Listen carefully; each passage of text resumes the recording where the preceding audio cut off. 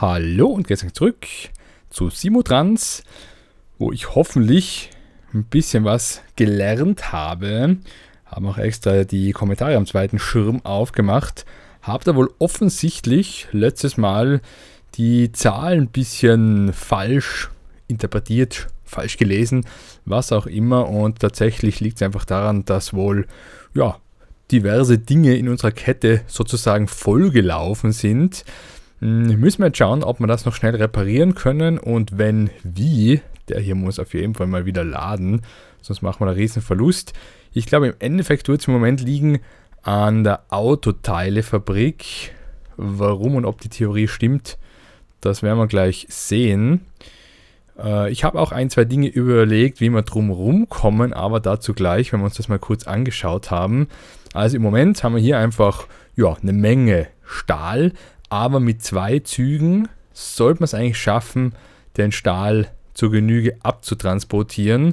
Und äh, vielleicht schauen wir uns lieber hier die Stahl, äh, Stahlwalzwerk an, weil den Lagerstand müssen wir uns insofern nicht einblenden, weil wir den ja hier auch sehen, mehr oder weniger, dass ja der Lagerstand plus das, was gerade auf den Zügen ist, also was mh, hm, unterwegs ist sozusagen. Also und hier haben wir ja immer ein bisschen, äh, sind wir immer ein bisschen an, am Anschlag, was den Erzlagerstand angeht. Also da haben wir fast zu viel. Aber es geht. Und eben Stahl wird fleißig abgeholt. Und wenn eben hier das Erzlager übervoll ist, wird kein Erz mehr angeliefert, beziehungsweise wenn das Stahllager voll ist, und das ist dann voll, wenn der Bahnhof voll ist, dann geht hier sowieso nichts mehr. Das war wohl offensichtlich der Fall. Gut, dann ist eben die Frage, wie geht es der Autoteilefabrik? Und ich glaube, da haben wir eher ein Problem, weil wenn wir das Stahlwerk jetzt natürlich ausreizen mit 1852 Einheiten pro Monat, und das macht man mehr oder weniger, weil hier ist laufend Erz, denn es wird laufend produziert, dann im Umkehrschluss, wenn wir den ganzen Stahl auch zur Autoteilefabrik liefern, dann wird hier eben das Lager nach und nach volllaufen, was auch im Moment so ausschaut. Heißt, Autoteilefabrik müssen wir die Produktion erhöhen oder könnten wir die Produktion erhöhen und das geht ja mit Strom. Ich glaube, man verdoppelt sie, wenn es mich nicht ganz täuscht, mit Strom. Und Strom könnten wir herstellen hier in unserem Kraftwerk. Wo war denn das nochmal? Da ist es. Das auch eine Menge Kohlezechen da in der Nähe hat. Also von der Versorgung her wäre es kein Problem. Ähm, ist natürlich die Frage, lohnt sich das Ganze? Ich habe mir erlaubt, ein bisschen zu testen, einfach, dass ich ein Gefühl bekomme für die Sache und über den Daumen, und das ist wirklich grob gerechnet, wenn wir hier das Kohlekraftwerk mit der Autoteilefabrik verbinden und laufend Strom liefern, dann lohnen sich die Leitungen, weil die kosten ja auch äh, Betrieb. Das heißt, wenn die stehen und kein Strom produziert wird, dann bringen die auch nichts. Wenn aber Strom produziert wird, beziehungsweise muss man vielmehr sagen, wenn Strom verbraucht wird, dann verdienen wir eben auch an ja, der Stromproduktion oder am Stromtransport, wie auch immer man es sehen will. Allerdings wird Strom nur dann verbraucht, wenn produziert wird. Heißt also auch, ähm, wenn wir das hier jetzt bei Strom sozusagen erhöhen auf 2800 Einheiten im Monat und wir haben dann nicht mehr genug Stahl, dann wird nicht laufend Strom verbraucht und dann lohnen sich die Leitungen auch eventuell nicht. Also, wenn wir das mit Strom versorgen, müssen wir vermutlich noch einen Ticken mehr Stahl liefern, was auch heißen könnte, wir schließen auch Stahlwalzwerk an den Strom an. Weil an dem hier, an der Autofabrik, glaube ich, scheitert es nicht, weil die verbraucht ja mehr, wie die hier produzieren kann. Heißt, die Schwachstelle so gesehen ist die Autoteilefabrik. Okay, das ist mal eine Sache. Und die zweite ist natürlich die Frage, wie produzieren wir Strom, indem wir Kohle anliefern. Und da ist eben die Frage, auf die kurze Distanz, mit was lohnt sich da Kohle anzuliefern?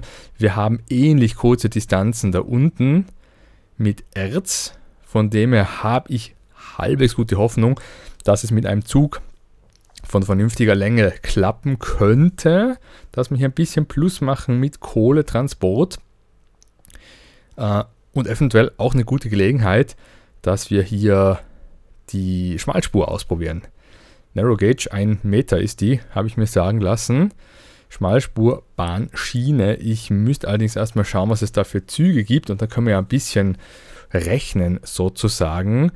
Beziehungsweise wäre ich sogar bereit, äh, ähnlich wie in der Stadt, sozusagen hier Strom zu produzieren, äh, wissenderweise, dass die Anlieferung hier zwar keinen Gewinn macht, aber der Stromverkauf im Endeffekt dann, analog zur Stadt, wäre eben, dass wir in der Stadt mit Bussen fahren, was uns, äh, jetzt ist die Stadt relativ weit weg, glaube ich, nach hier, was uns nicht viel Geld bringt, aber im Endeffekt halt dem Stadtwachstum hilft und uns später dann wieder. Also ja, sozusagen ein Service für die ganze Gegend. Also das ist auch eine Überlegung. Und dann haben wir natürlich noch offen, die ganze Produktionskette hier zu machen mit der Bäckerei. Und auch da haben wir ja Stromkonsumenten, wo man das Ganze erhöhen könnten, weil eben eine Bäckerei zum Beispiel maximal 388 Einheiten ist natürlich nicht allzu viel in Bezug auf die Getreidemühle. Die produziert ja das Doppelte, mehr wie das Doppelte. Also hätten wir hier auch einen potenziellen Kandidaten, um Strom zu verbrauchen. Vorausgesetzt natürlich, ähm, wir beliefern keine andere Bäckerei, klar. Ja, also Strom, glaube ich, werden wir uns dann auch bald anschauen, weil ich kann mir vorstellen, dass es sich lohnt. Die Frage ist eben Schmalspur oder was anderes. Und was anderes ist in dem Fall fast zwangsweise ähm, die normale Eisenbahn, weil ich glaube mich zu erinnern, dass wir noch keine LKWs haben, oder? Genau, wir haben nur Pferde, Kutschen und was haben wir für Anhänger? Stückgut und Schüttgut für landwirtschaftliche Produkte. Okay, wir könnten also Kohle im Moment gar nicht mit der Straße transportieren. Gut. Okay, dann würde ich sagen, gehen wir das Thema Getreidemühle an und schauen wir dann später vorbei bei der Autoteilefabrik, äh, wie es dort läuft und dann überlegen wir uns die Sache mit dem Strom. Gut, also, wer ist hier Lieferant, ist die Frage. Ich glaube, da nehme ich mir die äh, Minimap zur Hilfe, um das zu analysieren. Sozusagen hier also ist die äh, Getreidemühle und die Getreidehöfe, wie gesagt, ich glaube nach wie vor, die sind nach Entfernung sortiert. Ja, ich glaube, das, das kommt hin. Das heißt, der nächste ist da oben, nicht allzu weit entfernt.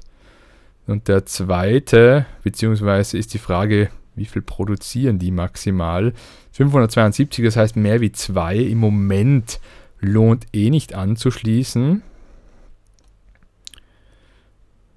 336, äh, es wird eigentlich super zusammenpassen, die zwei zu verwenden. Also einmal hier rauf und einmal hier runter. Hm, ja, warum nicht? Könnte man vielleicht sogar irgendwie da zusammenschließen mit dem Kohlekraftwerk, also zumindest die Gleise zusammenschließen. Dann schauen wir uns mal Schmalspur kurz an, nur um mal einen Vergleich zu haben. Ähm, ich baue einfach mal flott ein Depot und dann. Wo würde man denn ein Depot bauen, wenn wir tatsächlich dann Schmalspurzüge bauen? Eh vermutlich hier irgendwo. So, gibt es da auch äh, Oberleitungen? Ich sehe mal auf die Schnelle keine. Also, was haben wir für Loks? Zwei Stück. 30 und 45 km/h. Ja, vom Gefühl her, wenn wir da auf jeden Fall die schnellere nehmen müssen. Und Waggons, ja, Schüttgut, Schüttgut, Schüttgut. Das ist in dem Fall das, was uns interessiert, beziehungsweise Getreide. 40, 50, 90 km/h. Ja, das heißt, die mit 50 würden sich theoretisch lohnen. Die haben die doppelte Zuladung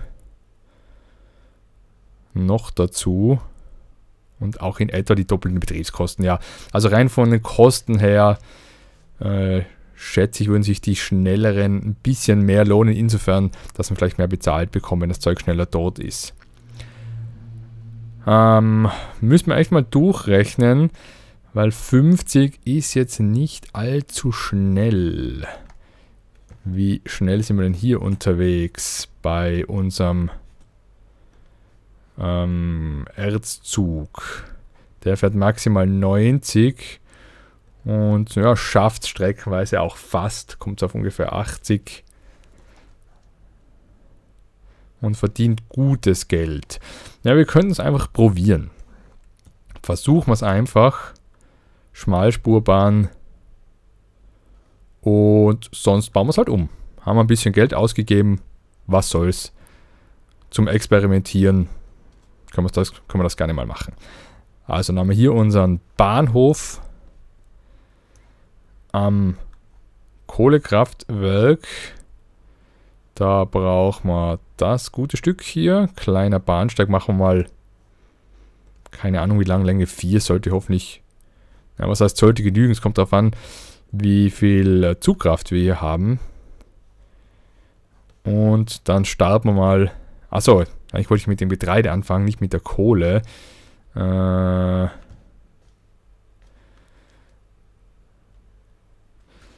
ja, auch die Verbindung hier wäre sehr nah zusammen. Wisst ihr was, wir versuchen es jetzt einfach. Probieren wir es und schauen wir, was rauskommt. Also da können wir mehr oder weniger direkt runterfahren. Ähm, da werden wir vielleicht die Straße ein Stückchen verlegen. Oder da gibt es sonst keine Möglichkeit, glaube ich, da zu kreuzen. So, heißt Straßenbau, das ist eine Landstraße, eine Bundesstraße, so wie es ausschaut. Zumindest sehe ich hier die Pfosten stehen. Und ja, auch dieses Mal natürlich wieder die Frage, wer bezahlt solche Umbauten?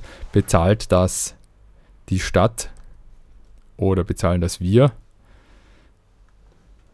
So, dann machen wir es jetzt einfach mal zum Starten ganz einfach, wobei hier sollte man vielleicht ein zweites Gleis einplanen.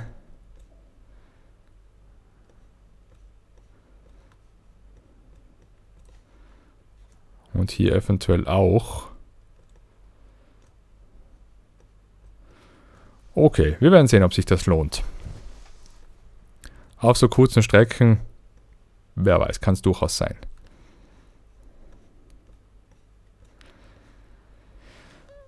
Okay, und dann müssen wir noch da runter. Hier fahren wir im Moment einfach mal durch. Zwar nicht ganz ideal, aber okay. Und da müssen wir dann noch schauen, wie wir hier mit den Signalen und mehr Strecken, Spuren, wie auch immer machen, ob man da vielleicht war das doch nicht ganz so ideal und wir hätten es eher hier hinbauen sollen, den zweiten Bahnsteig. Ah, das werden wir noch rausfinden. Okay, und da fahren wir wo runter. Mal schauen, dass wir möglichst wenig Kurven machen. Da haben wir dasselbe Problem, dass wir hier nicht über die Straße kommen.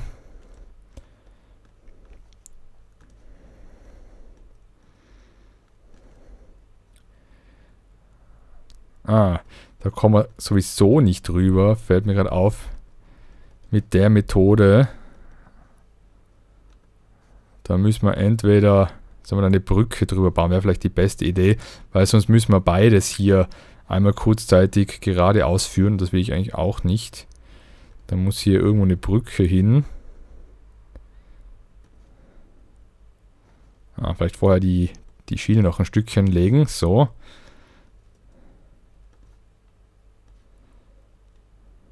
Ich glaube, näher zusammen geht es fast nicht.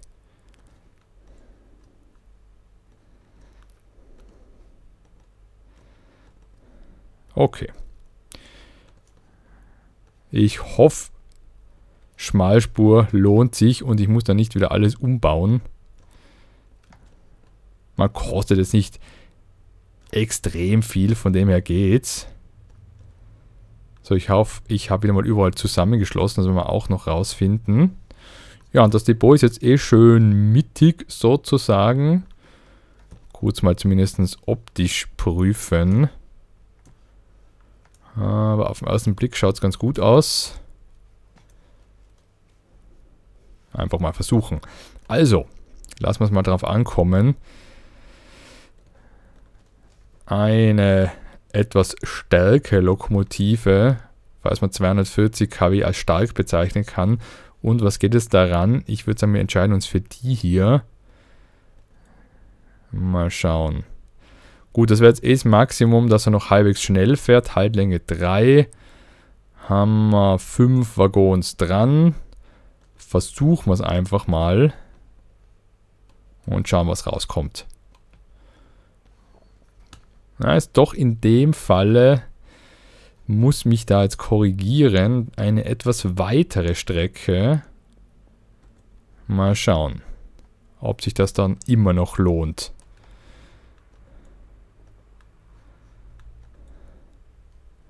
Die Betriebskosten pro Kilometer sind ziemlich hoch, sehe ich gerade.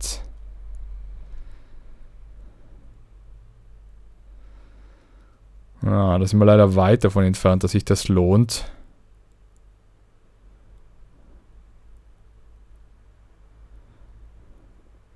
Hm.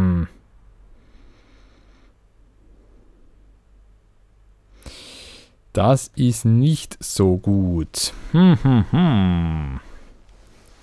Man hier für die Kohle vielleicht, aber... Oder hier für die Strecke. Was braucht man denn da? Das ist Stückgut. Und jetzt haben wir da eh schon ein bisschen was produziert. Müssen wir einfach ein wenig experimentieren. Vielleicht lohnt es sich zumindest fürs Stückgut verwendet man dieselbe Lokomotive, würde ich sagen. So, heißt weg mit dem. Ran mit dem. Haben wir eh nicht mehr Auswahl. Oder können wir lang 40 fahren? Bleiben wir bei Haltlänge 4. Wobei das könnte sich wirklich lohnen mit Stückgut auf die kurze Strecke darunter. Was geht daran maximal? Hopp, zu viel. Haltlänge 5. Na, versuchen wir das mal. Müssen wir halt den Bahnsteig noch ein bisschen verlängern. Also. Ja, Experimentierfolge. Warum nicht? Kommen wir vielleicht auf neue Sachen drauf. Und hier haben wir eh noch ein bisschen Platz.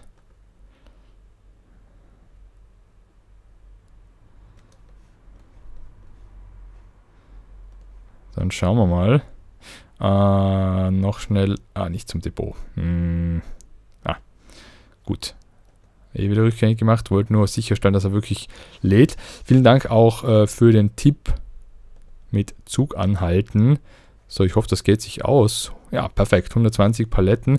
Jetzt müssen wir halt ein bisschen aufpassen äh, und schauen, mit wie viel Geld wir hier starten, wenn er losfährt. Also ich würde sagen, minus 12.650. Mal schauen, ob wir uns das halbwegs merken können. Äh, jetzt sind es 1000, 1000, ungefähr 1000 hat es gekostet, darüber zu fahren. Und ja, 1100, 1200 gebracht. Also auch nicht wirklich sehr rentabel.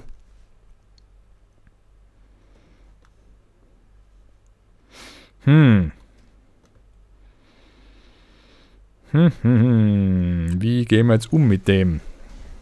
Also auf die lang lange Strecke lohnt sich definitiv nicht. Kann man das eigentlich umbauen zu einer normalen Strecke? Das werden wir leider, leider abreißen müssen. Ja, schade, aber ich habe wirklich das Gefühl, es lohnt einfach nicht. Ich hätte es gerne probiert. Äh, machen wir es einfach so ich lasse es mal für das kleine Stückchen da oben. Ich glaube, da haben wir noch Züge, die wir abreißen müssen. Für das Stückchen hier können wir es ja lassen. Kleines Spaßprojekt sozusagen. Und ihr schreibt mir einfach in die Kommentare, wo wir uns die Schmalspur anschauen sollen. Offensichtlich nicht für so einen Einsatz oder ich mache irgendwas falsch. So, da haben wir ein paar, die wir noch äh, verkaufen sollten. So, dann können wir es abreißen. Und dann werden wir das Ganze... Also Moment, da brauchen wir das andere Tool. Da werden wir das Ganze... äh, mit den Gleisen ausführen, aber trotzdem hier, glaube ich, vorbei am Kohlekraftwerk. So, wie hat man das da jetzt? So, ne? Genau. Und da den Hügel rauf. Okay. Machen wir mal 5. Schauen, was rauskommt. Hier brauchen wir jetzt im Moment ja keinen Halt. Und da müssen wir jetzt schauen, wie wir das jetzt umbauen oder anpassen. Na, eigentlich bräuchte man nur hier den Bahnhof. Und auch wenn es jetzt ordentlich extra kostet, ich weiß, ich wäre fast dafür, dass wir hier die zwei Gleise lassen. Und wenn es nur ein Deko-Element ist, warum nicht? Ein Depot braucht man allerdings gelegentlich ab und zu. Kann man das hier hinten ranbauen. Und kann man die eigentlich verbinden? Wird das derselbe Bahnhof? Das schaut gut aus. Und da müssen wir noch schauen, wie wir da raufkommen. Da werden wir die Straße noch ein Stückchen umbauen müssen. So, Straßentool.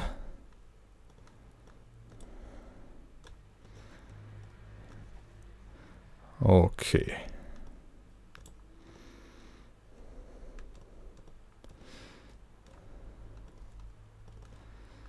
Ja.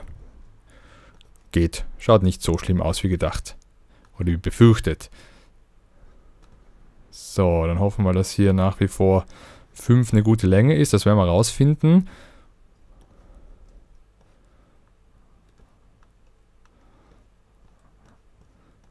So, jetzt haben wir natürlich das vergessen, ein Signal zu bauen und der Bahnhof so gesehen ist eigentlich unnötig. Was soll's. Wenn irgendwas zu viel ist, können wir es dann auch noch rückbauen. Kein Problem. Wir verbrauchen zwar gerade ordentlich Geld. Wobei ich glaube, ein großer Teil davon äh, ist für die Lokomotive draufgegangen. Was sich jetzt nicht ändern wird, ist die Frage, sollen wir jetzt hier mit unserem Standardmodell von unten fahren? Das war, glaube ich, die hier, oder? Oder sollen wir da schon Elektro fahren? Aber ich glaube, die Mengen, von den Mengen her, wäre es besser geeignet. Dampf. Na, wo ist sie? Da ist sie. Das ist die S36 die da wirklich gutes Geld verdient, muss ich sagen. So. Zu weit geblättert. Da sind wir. Okay, dann versuchen wir das nochmal. Die S36 mit, ja, ist jetzt eben die Frage, in dem Fall 90 km/h. Moment, das ist jetzt nicht das falsche hat man vorher jetzt landwirtschaftliche, jetzt muss ich nochmal schauen. Das zählt schon als Schüttgut, oder? Na, landwirtschaftliche Produkte. Ich habe aber vorher schon hoffentlich das Richtige geliefert. Na, wir haben irgendwas verdient. Wir haben irgendwas da angeliefert. Also irgendwas ist da ja angekommen. Von dem her muss es, muss, müssen wir es richtig gemacht haben. Vielleicht bei der Schmalspur. Kann es sein, dass bei der Schmalspur, ja, wir können es eigentlich direkt nachschauen, die Waggons nicht gibt.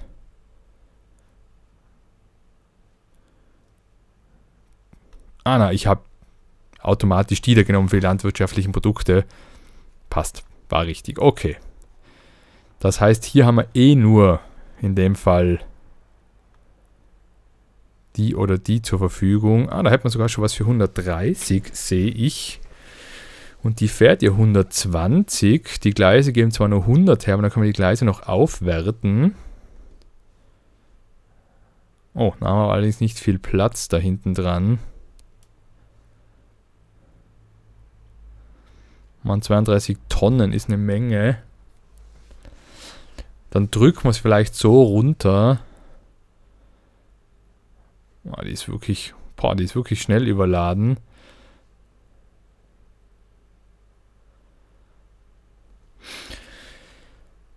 Soviel zum Thema Haltlänge 5. ich würde sagen, ich fahre jetzt einfach mal so. Wir müssen sowieso probieren. Sonst können wir immer noch ändern. So, bitte vollladen und loslegen. Und dann werden wir uns das ein bisschen noch anschauen und dann ist eh Zeit für eine Pause. Weil die kann jetzt richtig schnell runterfahren. Also theoretisch 120, wenn wir die Gleise noch anpassen. So, da wird jetzt nicht allzu viel produziert, aber wir haben ja dann zwei Quellen, die wir anzapfen werden. Dann schauen wir mal, wie es jetzt da finanziell ausschaut für die Fahrt. Ja, auf jeden Fall besser. Ob sich's lohnt, ist eine andere Frage. Ich habe jetzt nicht genau aufgepasst, mit wie viel wir losgefahren sind, aber ich glaube, wir verdienen ein bisschen was. Auf die Art und Weise. Okay, das ist schon mal eine gute Nachricht. Die hier befürchte ich allerdings macht Minus. Die hat unglaublich hohe Betriebskosten pro Kilometer. Puh. Na, es ist viel zu viel.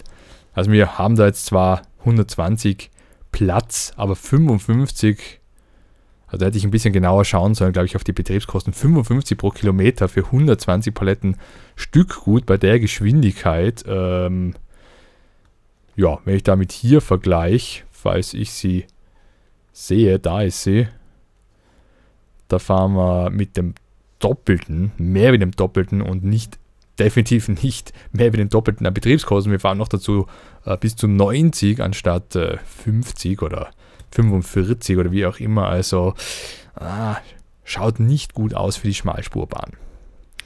So. Ah, und hier haben wir jetzt die schöne Situation, vor der ich ein bisschen Angst hatte. Da hätte man auch schauen sollen. Da haben wir jetzt nicht mehr genug Stahl mittlerweile. Äh, könnte auch ein Grund sein, warum wir jetzt da so weit im Minus sind mittlerweile. Also ich würde sagen, das lösen wir dann hoffentlich bis zum nächsten Mal oder nächstes Mal,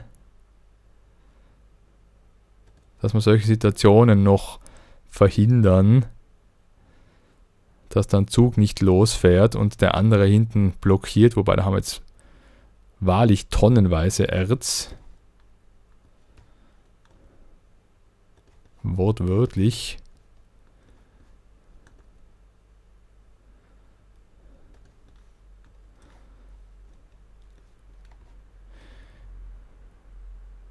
Ich würde fast sagen, wäre eine gute Idee, die Sache mit dem Strom sich zu überlegen.